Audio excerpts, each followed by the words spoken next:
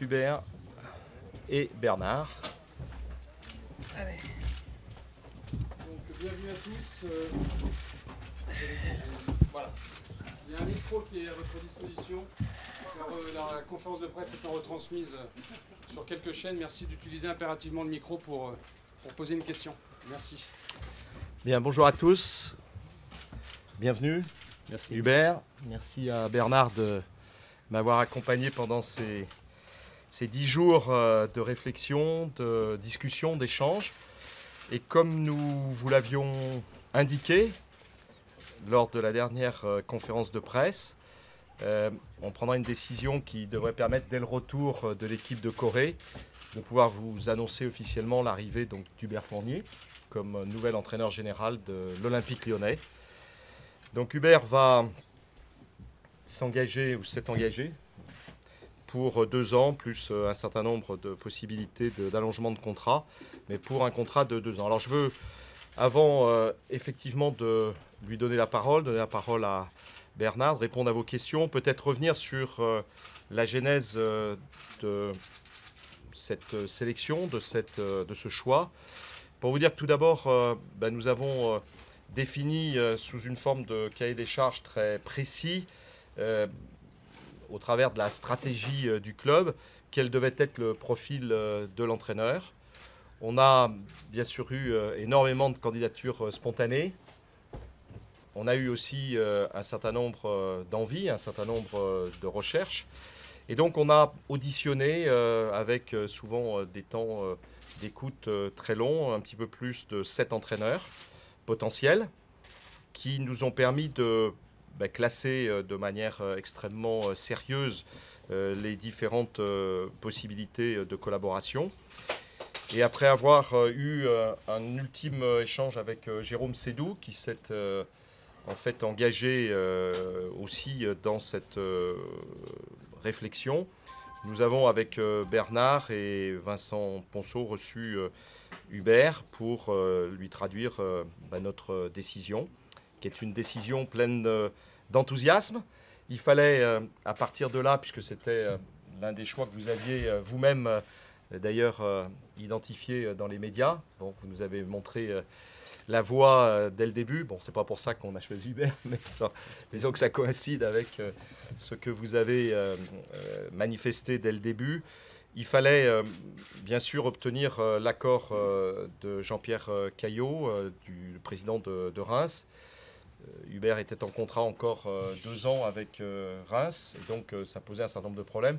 Je voudrais tout d'abord dire à Jean-Pierre Caillot, puisque j'ai vu qu'il appréciait beaucoup la relation avec Lyon, euh, que mm, il a été très fair-play, très bon. Je pense qu'il a donné la possibilité à Hubert de rejoindre un plus grand club que, le sien à un instant donné, même si l'histoire de, de Reims est une histoire euh, riche et, formidable, surtout pour euh, les gens, euh, je dirais, non seulement de ma génération, mais des générations qui, euh, ont précédé. Et donc voilà, on s'est mis d'accord hier avec Jean-Pierre Caillot pour que ce transfert, puisque c'est sous forme d'une indemnisation, puisse se faire. Comme vous avez me posé la question, je vous donne le montant, puisqu'il y a eu des chiffres qui ont circulé, c'est 360 000 euh, euros euh, de- d'indemnisation. Donc euh, je pense qu'on a joué le jeu. Et merci à Jean-Pierre d'avoir été donc, très fair-play dans son attitude et dans la relation. C'est vrai que Jean-Pierre Caillot est un président comblé, puisqu'il réussit l'une de ses meilleures euh, saisons. Mais c'est aussi euh, un homme, euh, un entrepreneur de grande qualité. Et je veux le saluer de manière tout à fait amicale ici. Je voulais dire aussi quelques mots évidemment sur Hubert. Bon, vous aurez tout le loisir de, de l'interroger. Il y a une fiche qui a été établie. Donc il a le profil de ce que nous souhaitions. C'est au demeurant pour moi un excellent souvenir, pour Bernard aussi, puisque Hubert a été euh, joueur de l'Olympique lyonnais, mais Bernard était le- l'entraîneur à l'époque. Donc euh, voilà, donc c'est une sorte de, retour aux sources. C'est vrai que depuis euh, en fait l'arrivée de Raymond Domenech comme entraîneur, Hubert est le 11e euh, entraîneur que j'ai eu à, choisir. Donc ce qui veut dire que d'une part on essaye euh, de faire en sorte qu'il y ait euh, une durée, puisque ça fait, euh, j'attaque ma 28e année, et Raymond euh, est arrivé il y a 26 ans, donc 10 entraîneurs pour 26 ans d'exercice. ça donne une tendance. Et puis surtout, c'est le cinquième entraîneur à avoir joué à l'Olympique lyonnais, donc ce qui montre, je dirais, un sens de l'histoire, de la tradition et de la volonté d'intégrer aussi au sein de la famille et de l'institution OL des gens qui ont la fibre, l'ADN euh, OL, et aussi euh, avec lesquels on a pu établir des contacts qui dépassent euh, les contacts professionnels. Vous voyez aussi qu'il arrive après donc, un certain nombre d'entraîneurs qui ont eu des réussites tout à fait importantes, puisqu'on a depuis en fait 14 saisons gagné 17 titres sur le terrain, ce qui est le record euh, de tous les clubs français actuellement euh, euh, sur le championnat de, première division. Et donc, voilà, je pense qu'après avoir joué deux ans avec l'Olympique lyonnais, un retour quelques années après, eh bien, ça donne une dimension affective qui est celle que nous cherchions avec Hubert. Hubert a un passé non seulement de joueur, mais aussi un passé d'entraîneur. Il a démarré dans la difficulté. Je lui disais tout à l'heure que dans le monde de l'entreprise, quand euh, on a quelquefois un échec, on dit euh, tiens ben voilà quelqu'un qui effectivement va s'enrichir d'échecs. Et puis il a eu aussi des, réussites et que des réussites par la suite. Mais c'est vrai que l'expérience qui permet de passer par un certain nombre de clubs différents apporte cette dimension qui est celle que, nous recherchions. Et je le laisserai après parler de, lui et de son expérience. Je voulais dire aussi vous dire un petit mot parce que je lis euh, bien sûr tout ce que vous écrivez. Euh, j'écoute euh, aussi, je regarde. Bon, pour vous dire que la situation économique de l'Olympique Lyonnais est une situation économique qui permet d'envisager l'avenir avec sérénité, puisque c'est le club qui dispose des capitaux propres les plus importants de tout le championnat, avec plus de 150 millions d'euros. Nous sommes lancés dans un projet d'entreprise fondé sur la formation, où l'Olympique Lyonnais est le deuxième club en Europe premier en France, avec euh, effectivement un certain nombre de jeunes. Et puis, euh, c'est vrai aussi dans un projet de stade euh, qui est tout à fait fondamental et qui sera sur le plan européen l'un des stades les plus aboutis en matière technologique, avec une dimension qui est conforme à ce que peut mettre en œuvre une région comme la région Rhône-Alpes. Je voulais vous dire aussi sur le plan économique que les dernières, on avait fait un choix de ne pas investir euh, énormément euh, dans la partie euh, joueur, puisqu'on s'est essentiellement fondé sur un certain nombre de joueurs qui sortaient du centre, de formation. L'investissement l'année dernière était de 2,8 millions en termes d'acquisition de joueurs.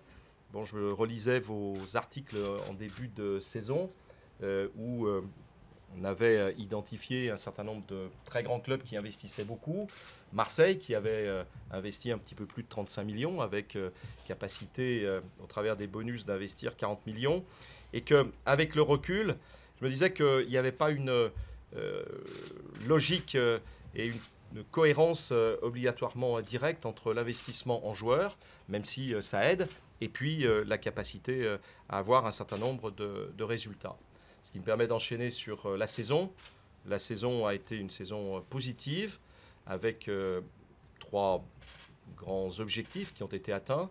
La 18e qualification euh, en Coupe d'Europe, ce qui permet de positionner l'Olympique lyonnais parmi les très grands clubs européens. La finale de la Coupe de la Ligue, malheureusement perdue contre le PSG, j'y reviendrai pas parce que j'ai quelques regrets. Et puis euh, ce quart de finale contre la Juventus qui a démontré que ben, on n'était pas si loin des meilleurs clubs européens de, de l'Europa League. Je voudrais dire aussi que l'Académie a continué de, se projeter euh, sur euh, le futur avec euh, un certain nombre de joueurs qui ont intégré l'équipe professionnelle. Et vous le savez, l'équipe des moins de 17 ans jouera dans quelques jours, demain je crois ou après-demain, la demi-finale du championnat des moins de 17 ans. Et l'académie féminine jouera aussi la demi-finale des moins de 19 ans. Donc ce qui veut dire que nous avons sur le plan des deux académies euh, une capacité à former et développer euh, de jeunes joueurs et jeunes joueuses de manière tout à fait volontariste. L'Europa League donc, Hubert aura l'occasion de diriger avec son équipe. L'OL sera tête de série, donc on va avec l'indice européen qui est le meilleur des clubs français, il faut s'en rappeler, 12e. on est toujours devant le PSG qui doit être quelques places derrière. Eh bien, nous permettra donc par le tirage au sort du 18 juillet de savoir contre qui nous aurons à jouer ce, premier tour. Et là aussi, il n'y a pas d'indice de, préférence. C'est le club tiré en premier qui reçoit donc quelques informations complémentaires. Voilà, je voulais terminer la présentation d'Hubert en parlant un tout petit peu de moi, ce qui n'est pas obligatoirement interdit, pour dire que j'attaque ma 28e saison avec beaucoup d'enthousiasme, beaucoup de plaisir d'accueillir Hubert, d'être à côté de Bernard, parce que ça donne une dimension affective forte. Et aujourd'hui, euh, j'aurais euh, participé euh, avec les équipes à plus de 3, 1312 matchs, ce qui donne sur le plan de l'analyse et du, on va dire, de, l'expérience, un peu de dimension. J'aurais participé à 237 matchs européens directement et indirectement, ce qui, en termes euh, d'expérience là aussi confère euh, un tout petit peu de, matière pour euh, prendre les bonnes décisions. Voilà ce que je souhaitais vous dire et puis vous dire que ben, nous aurons après cette présentation d'Hubert Fournier, nouvel entraîneur général de l'Olympique lyonnais, avec Bernard, beaucoup de plaisir à répondre à vos questions. Voilà. Hubert c'est à toi de, voilà, de dire, euh, je sais pas, est-ce que tu es content d'être là? Je suis ravi d'être là. Merci de la confiance euh, du président, de, Bernard, de, m'offrir ce, challenge, qui est un challenge forcément intéressant, excitant. Et, j'ai vraiment à cœur de, voilà, d'y être déjà. Alors c'est sûr, il va falloir prendre quelques jours de congé pour euh, se préparer aux grandes luttes qui nous attendent. Mais voilà, je suis, je suis impatient de d'avoir la reprise et puis d'attaquer le boulot. On a face à nous euh, une saison euh, voilà, qui, euh, qui va être comme toutes les saisons difficiles, mais on va tout faire ensemble pour que ça soit une, une saison réussie à, la fin de, la fin de ce championnat. Bernard, un petit mot en entrée? Oui, d'abord, je suis très très content, moi personnellement, que Hubert soit avec nous. Il a été un de mes joueurs lorsque j'étais entraîneur. Nous avons eu toujours des relations qui étaient super. Mais on avait une équipe à l'époque qui a fait un petit parcours en, Coupe d'Europe. Et c'est toujours été un plaisir d'être euh, avec le groupe qui était le mien à cette époque-là. Et Hubert en, était un des leaders avec Flo Laville. Et j'ai regardé un petit peu le parcours qui était le sien avec le Stade de Reims. Il a fait un parcours qui a été magnifique. Il a fini difficilement la fin de saison, mais je pense que une fois qu'une équipe était sauvée du championnat, c'est plus facile, du moins c'est plus facile, il y a un peu de déconcentration. Mais le travail énorme qui a été fait par euh, Hubert Arin, ça a été vraiment très important. J'espère qu'on aura tous le plaisir de partager des grands moments de, football cette saison, en Europa League, en, champion, en, championnat de France bien sûr, et puis les deux coupes nationales qui sont toujours très importantes pour l'image de notre club. Merci Bernard, merci euh, Hubert. Et la parole est à la salle. Voilà. Donc si vous avez des questions. Donc euh, Pierre va vous donner le micro.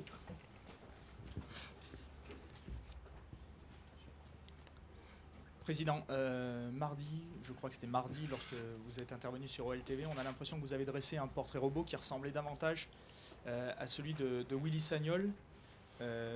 Qu'est-ce qu'il s'est passé avec Willy Sagnol? On a eu l'impression à un moment que, que c'est lui qui, qui venait en tête de liste Comme vous l'avez dit, euh, vous avez eu l'impression. Euh, nous, euh, notre classement a toujours été celui qui permettait à, Hubert d'être en tête. Bon, après, il y a eu un certain nombre d'échanges. bon, pour être entraîneur de première division et, et jouer l'Europa League, il faut non seulement avoir le profil qui était celui que nous avions défini, mais il fallait aussi que l'entraîneur euh, soit libre. C'est ce qu'on a mis un peu de temps à, obtenir euh, euh, avec le Stade de Reims. Il fallait aussi que l'entraîneur soit diplômé. Et donc, je vous confirme qu'Hubert Fournier a été depuis le début le premier sur la liste et, et il est resté. Bonjour, une question pour, pour vous Hubert. Quelle sera la composition de votre staff technique?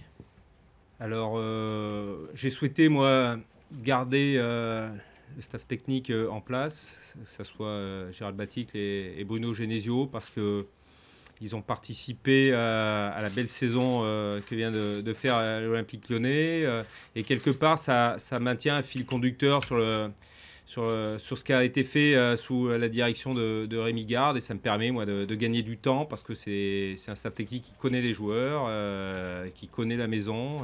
Et, on va gagner du temps. Simplement, euh, je vais m'adjoindre un, un préparateur physique euh, voilà, qui sera différent de Robert Duvergne. Je vais avoir à mes côtés aussi euh, Michel Audrin qui était euh, mon adjoint euh, au stade de Reims et qui m'accompagne dans ce nouveau projet.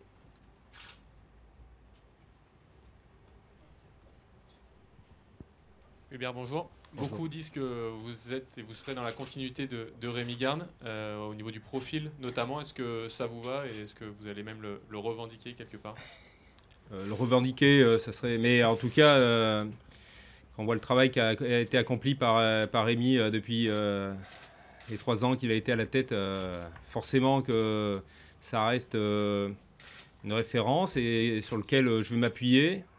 Après, j'arrive avec mes idées, avec voilà, peut-être aussi une méthodologie différente. Et je pense que c'est pas plus mal aussi parce que voilà, il faut. Mon arrivée doit permettre aussi d'a- d'amener, je l'espère, un, nouvel allant et puis euh, voilà, changer un peu les habitudes euh, de travail euh, au sein de, au sein de l'effectif. Hubert, Christelle Schneider, Infosport Plus, Canal Plus. Est-ce qu'on peut savoir avec quel effectif vous allez attaquer cette nouvelle saison à l'OL Et est-ce que vous avez des garanties sur les joueurs qui sont déjà là Ou vous savez déjà qui va partir ou qui va rester?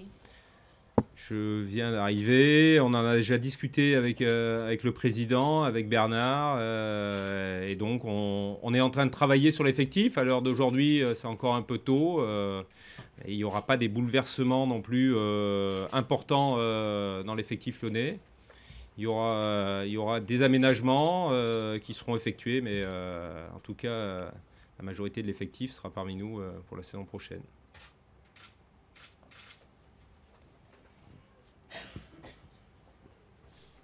Willy Musonas, RTL. Euh, ici Hubert. D'accord, oui, pardon. Il y a une grosse caméra Oui, juste devant, donc euh, on a du mal. Ah. Pardon. Je suis désolé, je suis désolé.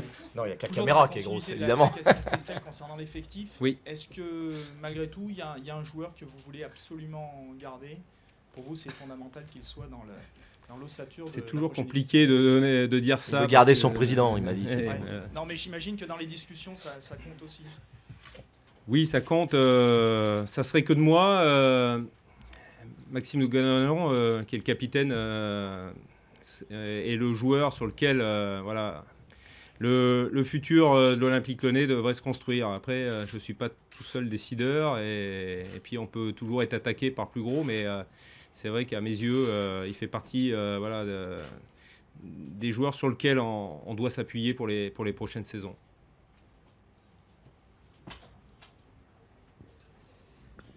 Est-ce que ça veut dire que Jean-Michel Aulas, vous allez ôter le, le bon de sortie de Maxime Gonalon? Non, mais j'ai déjà répondu, euh, je pense, euh, très clairement. Bon, euh, on, a, on discute avec Alexandre Lacazette pour le prolonger. Je pense que je peux vous dire que, puisque ça a été aussi un des, sujets qui ont été évoqués, et Max, bon, je l'ai vu évidemment avant qu'il parte rejoindre Clairefontaine pour lui dire que, bon, ça a d'ailleurs été repris euh, excellemment par euh, l'un de vos confrères, il a non seulement un, un bon de sortie, mais il a un bon de maintien euh, à l'intérieur. donc voilà, donc on va tout faire pour qu'il puisse rester, parce que comme cela a été évoqué, il symbolise un peu cette camaraderie, cet esprit du maillot.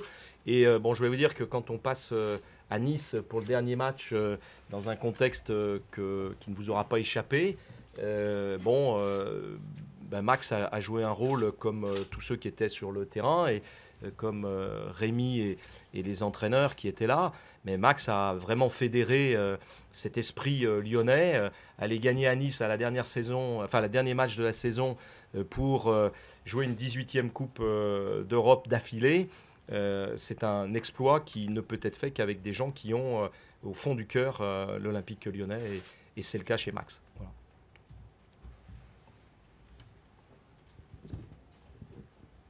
Hubert, bonjour. Olivier Dietlin, Dauphiné Libéré. Vous parliez d'une saison, enfin d'essayer de, de, réussir une saison. Qu'est-ce que serait une saison réussie pour vous la saison prochaine? Ça serait une 19e qualification pour une Coupe d'Europe, dans la continuité de ce qui a été voilà, les, les 20 dernières années de l'Olympique lyonnais. Ça serait une victoire, euh, remporter un trophée, c'est-à-dire euh, sans doute euh, une découpe nationale, et puis améliorer notre classement en championnat et aller titiller les, plus, les plus hautes places. Ça, ça serait une saison très réussie. Voilà. Hubert, bonjour. Bonjour. Je sais pas ça. Oui. Euh, vous parliez de réussir une saison. L'OL en ce moment a quelques contraintes économiques. Est-ce que vous pensez pouvoir y arriver quand même? Euh, ce, qui, euh, ce qui renforce mon espoir, c'est qu'on n'est pas les seuls euh, là-dedans. Quand on voit Marseille, qu'on voit Bordeaux, qui sont quelque part des concurrents directs. Saint-Étienne, où mon homologue se pose des questions sur la capacité à son club à répondre à ses attentes. on a face à nous deux monstres en termes de puissance financière que sont le PSG et Monaco. Et derrière on est à la bataille avec, euh, avec l'ensemble des, clubs que j'ai cités. Donc, euh, j'ai bien, j'ai bon espoir qu'on euh, sera au bout. Je voudrais juste intervenir pour parce que je sais que la, culture économique n'est pas toujours la plus importante aux yeux de, certains, mais simplement pour dire que les propos qui laissent à penser que la puissance économique de l'Olympique Lyonnais serait inférieure aux autres est une erreur manifeste soit un manque, euh, je dirais, de connaissances euh, réelles, euh, soit dirais, une volonté d'imaginer que non, on a une stratégie qui est une stratégie connue, qui est fondée sur une analyse européenne de ce qui va se passer autour du financial fair play. Je l'avais évoqué il y a quelques temps avec un certain nombre d'entre vous. personne n'imaginait que les premières sanctions euh, en matière de financial fair play viendrait euh, peut-être euh, amender un certain nombre de rêves ou d'espérances. Donc on a une stratégie qui est une stratégie à moyen terme de développer au travers de la propriété d'un stade et l'acquisition d'un terrain de 50 hectares sur lequel on peut faire un stade et beaucoup d'autres choses à côté, une récurrence de revenus qui est la seule aujourd'hui qui permet aux clubs européens comme le Bayern ou Arsenal ou à Copenhague euh, avec euh, Park Sport, euh, d'avoir cette récurrence. Donc on a la chance par ailleurs d'avoir un centre de formation qui est parmi les meilleurs d'Europe. Donc je pense qu'on a les conditions économiques, mais aussi d'expérience sportive pour avoir en termes de performance eh bien, ce qui est la suite de ce qu'on a fait jusqu'à aujourd'hui, c'est-à-dire 18 titres d'affilée. Et ça fait 4 ans qu'on nous dit, mais est-ce que vous avez les moyens d'y arriver? Donc je pense qu'il y a un moment, il faut euh, se regarder en face et puis euh, se dire, mais euh, non, la puissance économique et les choix économiques qui ont été faits par l'Olympique lyonnais sont les choix qui sont pertinents et qui vont l'être de plus en plus. C'est-à-dire que plus on se rapproche de l'ouverture du stade, et on n'en est plus si loin maintenant, et plus l'argument qui laisserait à penser que la puissance économique de l'Olympique lyonnais n'est pas l'une des plus importantes du championnat ne tiendra pas de beaucoup. Une dernière question pour Hubert. Du coup, justement, être le premier coach à, entraîner euh, dans ce nouveau stade, c'est quelque chose qui vous motive? Je pense que ça motive tout le club euh, et ça doit être euh, un levier d'ambition pour l'ensemble des forces vives du club et forcément le, staff technique et les joueurs parce que ça va être un, un, virage important pour le club et ça va le lancer sur, sur les succès, je le souhaite bonjour, euh, François Tixier, l'AFP. Euh, tu avais laissé un, excellent souvenir comme joueur euh, au club. À partir de, quel moment, enfin, comment tu as reçu la sollicitation de l'Olympique lyonnais? À partir de quel moment tu as été convaincu que tu avais une chance de, prendre le poste? Et euh, en même temps, une question pour le président. À partir de quel moment vous avez été convaincu que c'était l'entraîneur qu'il vous fallait? Bon, ça c'est assez. euh, Ça fait une, quinzaine de jours à peu près qu'on euh, a eu les premiers contacts à peine. j'étais, pour vous dire, j'étais lancé moi sur le projet euh, Rémois parce que euh, je suis comme ça. euh, et à partir du moment où ça a été à l'Olympique Lyonnais. Bon, j'ai entendu voilà, les arguments du président avec beaucoup d'attention, parce que c'est un projet qui, sur lequel voilà, j'étais très intéressé forcément. Et puis après, on s'est rencontrés à quelques reprises, et puis l'idée a fait son chemin. Et, je suis tout à fait. euh, euh, J'étais content, moi, que le club euh, auditionne plein d'entraîneurs parce que quelque part, euh, ça légitime celui qui est, euh, qui est appelé à prendre les destinées. Et euh, donc, euh, ils ont eu euh, voilà, la, courtoisie de me recevoir et puis de recevoir plein et puis de faire euh, voilà, leur, euh, euh, leur analyse. Et, et je suis heureux que mon nom ait été retenu parce que ça me permet euh, voilà, de me lancer sur un projet euh, tout à fait excitant. Donc comme euh, l'a évoqué euh, Hubert, euh, premièrement, Bernard a été, comme pour Rémi, l'un des, comment dirais-je, des artisans d'une candidature d'Hubert, qu'on avait identifié. Bon, je rappelle que nous avons vu sept entraîneurs, très longuement, potentiels. Nous en avons, avec Jérôme Sédou, reçu une deuxième fois, voire une troisième fois, trois, dont Hubert. Euh, voilà, donc, euh, et euh, je pense que après les entretiens avec Jérôme Sédou, on a fait une réunion en interne avec Vincent Ponceau, qui, en tant que directeur juridique et responsable des ressources humaines, a mené, je dirais, de manière tout à fait professionnelle et sérieuse ces, ces entretiens, Bernard et moi-même, et on a pris la décision avec Jérôme Sédou. Voilà, donc euh, après, euh, je vous l'ai dit, euh, il y avait des, négociations euh, qui étaient avec le Stade de Reims et on a respecté complètement. C'est pour ça que j'ai tenu à, saluer la relation avec laquelle on a pu discuter avec Jean-Pierre Caillou.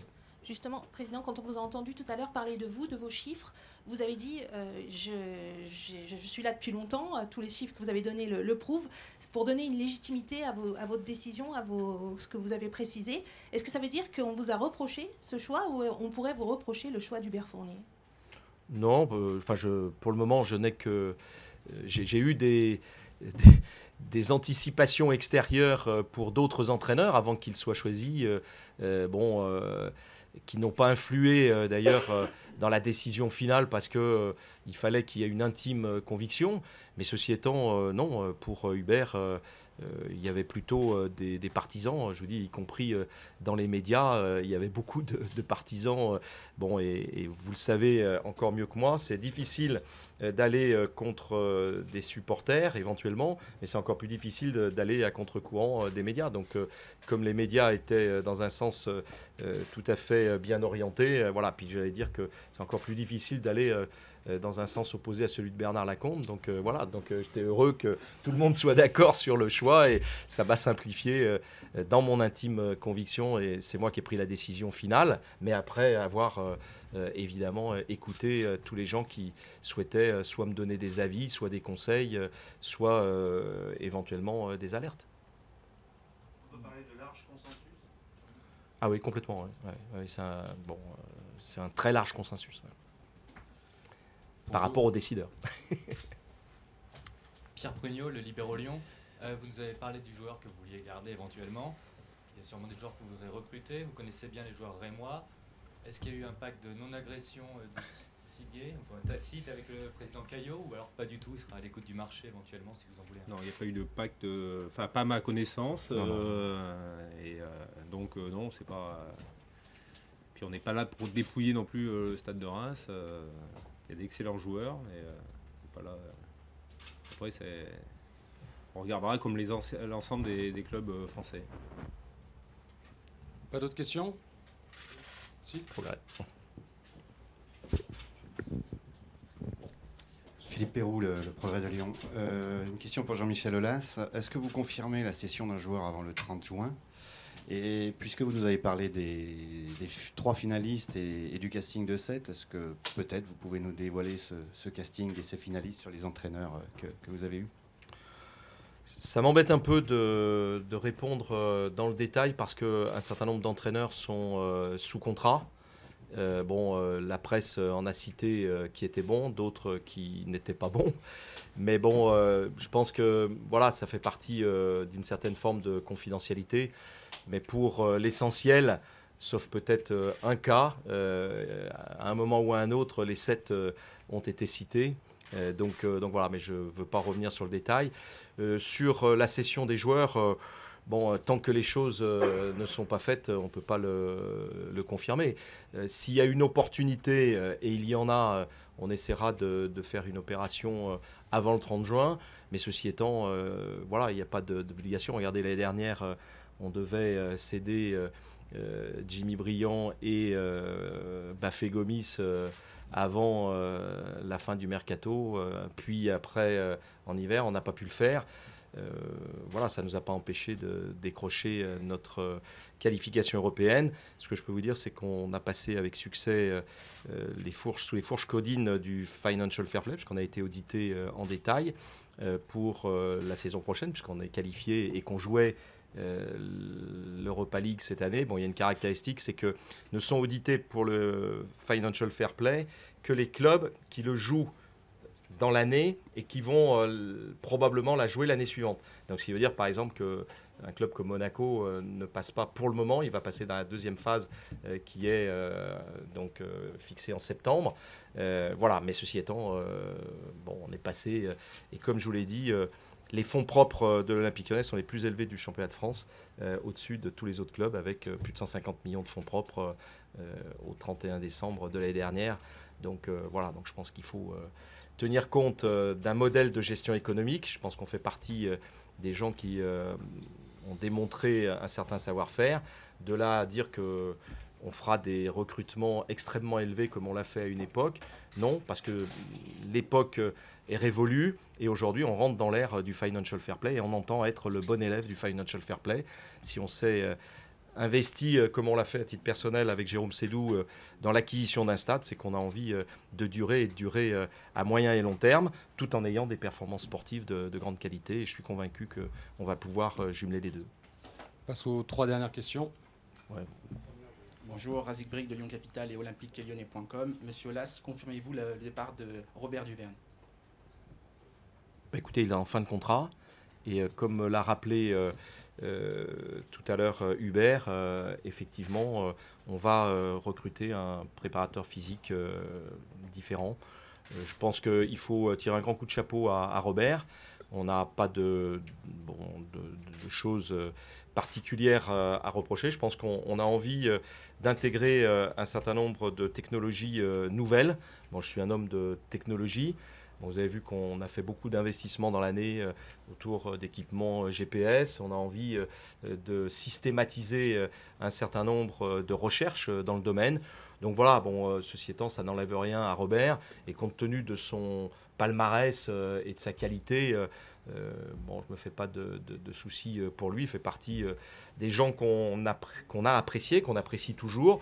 Mais à un moment donné, euh, bon, on vous l'a dit, on garde euh, l'intégralité euh, du staff tel qu'il est aujourd'hui, sauf que sur la partie préparation physique, on veut se lancer dans un projet un peu comme sur le nouveau stade, donc c'est un projet différent. mais ça n'enlève rien à, Robert qui a été un formidable compétiteur au cours des années dernières. Et encore cette année, bon, je rappelle qu'on a fait 62 matchs, puisqu'on vient de jouer le match en, en Corée, mais 61 matchs officiels. Et vous l'avez vu, on a bien terminé. Bon, euh, je pense que mentalement, on était très costaud à Nice, je l'ai rappelé tout à l'heure, parce qu'il fallait le faire. Euh, et pour moi, c'est euh, une des grandes victoires de, ces dernières années, aller gagner à Nice dans le contexte. Mais on était aussi sur le plan de la préparation physique pour ceux qui étaient là, bon, malgré tous les absents, bien au point. Donc, donc voilà, donc c'est un, un, changement de stratégie par rapport aussi aux cinq années, aux sept années qui viennent qu'on est en train d'amorcer. Je voulais juste faire euh, un complément d'information par rapport au dernier match. Euh, personne ne, l'a évoqué dans le détail. Mais bon, je pense que c'est bien parce que c'est fait œuvre, je pense, de novation et de modernité pour le futur. Vous savez qu'on a été obligé au dernier moment de changer la composition d'équipe car on s'est rendu compte que le règlement interdisait à des joueurs qui n'ont pas participé aux quatre, derniers matchs d'être en nombre très important sur la feuille de match. Bon, ce qui est une ineptie euh, de première grandeur, puisque partant d'un principe qui est euh, de ne pas avoir à fausser euh, les derniers matchs, quand vous avez, comme on l'avait, 8 absents pour des raisons soit de blessure, soit de suspension, ben vous ne pouvez pas. voilà, donc ce qui a fait qu'on s'est retrouvé à 16 sur la feuille de match, uniquement pour ces raisons-là, et que deux joueurs ont été écartés, un jeune joueur plus Gaël Danic, et je voulais féliciter ces deux joueurs parce que bon, euh, c'était aussi euh, pas évident sur le plan euh, mental et psychologique bien de comprendre que malheureusement ils ne pouvaient pas jouer pour un règlement qui est un règlement idiot. Bonjour Hubert, Stéphane Marteau de 20 minutes. vous avez dit tout à l'heure que la majorité de l'effectif devrait être présent à la reprise. Est-ce que vous avez déjà émis des souhaits en termes de recrutement? Et si oui, quels seraient les secteurs ciblés? Et deuxième question, est-ce que vous avez déjà arrêté le, le programme de reprise? Alors euh, ça, c'est des, des, choses sur lesquelles euh, on travaille avec la cellule de recrutement et puis avec les dirigeants. Euh, concernant la, la reprise, je vous informerai en, début de semaine, parce que là, il y a déjà eu une, un plan qui a été, qui a été déjà acté et je vais avoir le, tout le loisir durant le week-end de le finaliser. Il faut savoir que les joueurs, pour le moment, n'ont pas vu euh, évidemment euh, Hubert, sauf euh, Mamad Dabo qu'on vient de croiser. Mais donc voilà, donc même si il sait ce qu'on va faire, bon, je pense que c'est. La primeur reviendra aux, joueurs avant tout. Je vais passer un petit coup de fil à Max Dolan pour le féliciter de voilà la, saison qui vient de passer et puis lui souhaiter bonne chance aussi avec avec notre équipe nationale et puis surtout voilà lui dire que on l'attend pour l'année prochaine. De pied ferme. Exactement. D'autres questions éventuellement? Non. Pas d'autres questions bah, il, il, reste euh, à vous remercier, vous excuser parce que j'ai l'impression que la climatisation ne marche pas très bien. Euh, voilà, mais bon, euh, on ne peut pas avoir tout juste partout. donc aujourd'hui, on a fait, j'en suis convaincu, le bon choix euh, avec Bernard sur euh, le plan de, l'entraîneur général. Merci euh, à Hubert d'être avec nous. Merci à vous d'être revenu écoute, cette année. Et bonne collaboration. remettre à Hubert pour les photos. Avec Bernard, le maillot du club. Voilà. Ça va me changer du pâté que... Juste pour les télévisions, en attendant que les photographes, donc vous avez quelques secondes. Plutôt mettre en avant notre voilà. partenaire.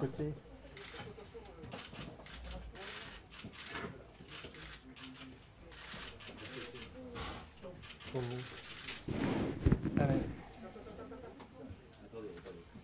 On est suffisamment haut, partenaire quand même qui est présent.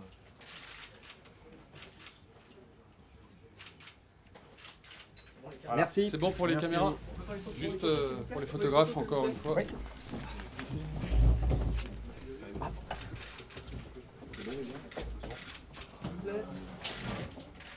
S'il vous plaît. La canne, euh, hein. S'il vous plaît.